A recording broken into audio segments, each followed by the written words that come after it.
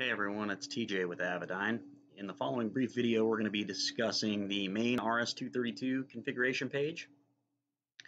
And as you can see, we've got inputs and outputs and channels associated. So basically what this would be is channel 1 through 6, um, and it's going to be 1 through 4 if it's a 400 series unit, because there's only four RS-232 channels on those units. Um, but basically what this is, is, is this would be RX1, this would be RX2, this would be RX3, and over here on the output side, this would be TX1, TX2, TX3, and so on. So when you're comparing, you know, your pinouts, um, understand your channel 1 TX is your output side, your channel 1 RX is your input side. That being said, there are a handful of these I do want to go ahead and take a few minutes to talk about. Um, just based on the number of phone calls we get and some of the stuff that might not be super clear. So uh, ADSB plus G, this is Avidyne's version of the Garmin ADSB plus protocol that you would see as an output um, on a GNS series unit. It's a 9600 baud rate. Um, it's also compatible with ADSB format 1 in Garmin language. Okay. And ADSB plus G2 is the exact same data stream, but we've bumped up the baud rate to a 38 400. Um, and it's also compatible with an ADSB plus format 2 or ADSB format 2. Standard aviation, it's pretty simple. AXP 322, GDL 69. Um, since there's a separate configuration page for GDL69, and we'll get into that in a little bit uh, or in a separate video, but understand when we're setting up a GDL69, we'll want to set up our RS232 you know, port configuration here. And once that's configured, you'll want to do a hard power cycle on the IFD and then bring it back up um, in go into maintenance mode, and then your GDL69 configuration page will open up.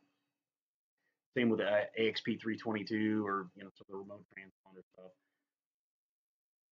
700 Skytrax traffic. So um, talk about the Skytrax real quick. The Skytrax settings are the settings you would want to use for the original older version of the MLB 100, the one that was uh, originally built by NavWorx, and Avidyne rebranded that as the MLB 100.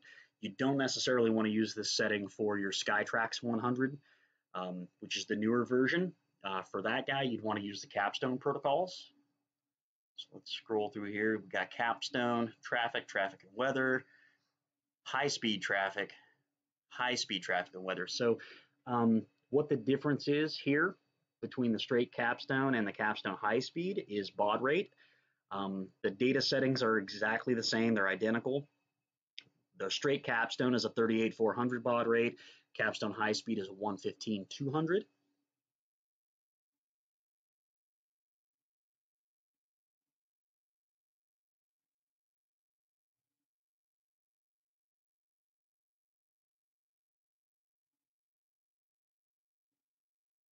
So that, that pretty much walks you through what the RS-232 config options are. Um, Obviously, we didn't go through uh, great detail on each and every one of those. Uh, for those, you'll want to look at, at your specific installation.